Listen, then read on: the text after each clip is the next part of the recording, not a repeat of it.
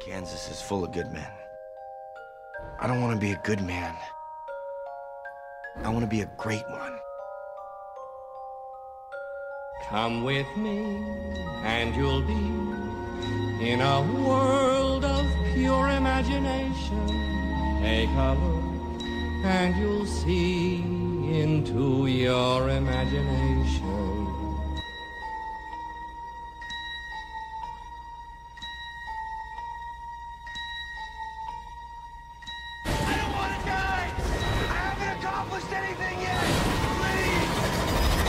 Ladies and gentlemen,